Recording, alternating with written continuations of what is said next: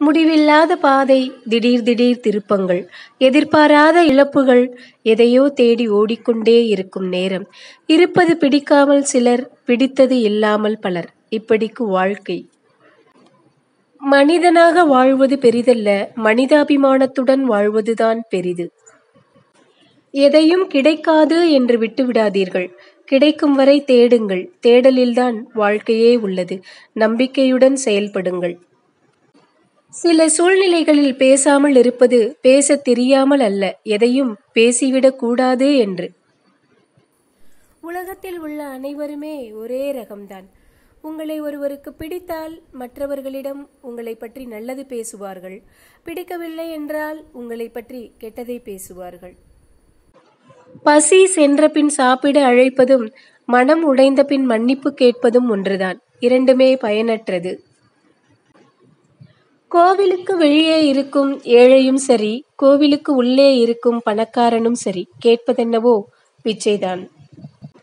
நாம் எதிலுமே தோற்பதில்லை. ஒன்று வெற்றி கொள்கிறோம் இல்லை கற்றுக்கொள்கிறோம் மகிழ்ச்சிக்கான ஐந்து வழிகள். ஒன்று கவலை கொள்ளாதீர்கள். இரண்டு யாரையும் வெறுக்காதீர்கள். மூன்று முடிந்தவற்றை மற்றவர்களுக்கு கொடுங்கள். நான்கு யாரிடமும் எதையும் எதிர்பார்க்காதீர்கள். ஐந்து எளிமையாக வாழுங்கள்.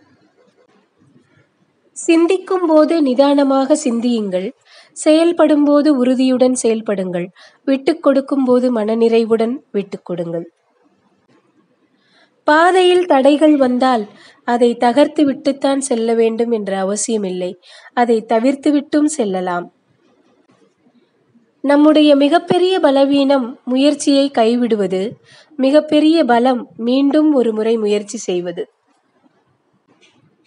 பேச்சில் இனிமை கொள்கையில் தெளிவு செயலில் உறுதி ஆகிய மூன்றும் உள்ளவரால் எதையும் சாதிக்க முடியும். வாழ்க்கையில் நாம் செய்யும் இரண்டு தவறுகள் ஒன்று யோசிக்காமல் முயற்சி செய்வது இரண்டு முயற்சி செய்த பின் யோசிக்காமல் செய்வது.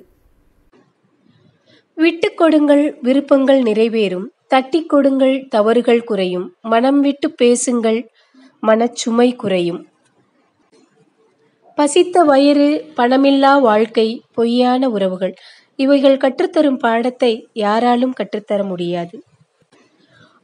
முடிவுகளுக்கு முக்கியத்துவம் அளிக்காமல் முயற்சிக்கு முக்கியத்துவம் அளியுங்கள். வெற்றி நமதாகும். உங்களுக்கு மேலே உள்ளவர்களை பார்த்து ஏங்காதீர்கள். தாழ்வு மனப்பான்மை வரும். உங்களுக்கு கீழே உள்ளவர்களை ஏளனமாய் பார்க்காதீர்கள். தலைக்கணம் வரும். உங்களை யாரோடும் ஒப்பிடாமல் நீங்கள் நீங்களாக இருங்கள். தன்னம்பிக்கை வரும். பாதையில் மேடு பள்ளம் இருப்பதை போன்று நம் வாழ்வில் இன்பம் துன்பம் இரண்டும் கலந்தே இருக்கும். அதை சிறு புன்னகையுடன் வரவேற்று கடந்து செல்லுங்கள். வாழ்க்கை எனும் பாதையில். உங்களை தூசி என நினைப்பவர்களிடம் நீங்கள் தூசியாகவே இருந்து விடுங்கள். அவர்கள் கண்ணில் படும்போதெல்லாம் கண் கலங்குவார்கள். ஏன் தூசி என நினைத்தோம் என்று? நன்றி. வணக்கம்.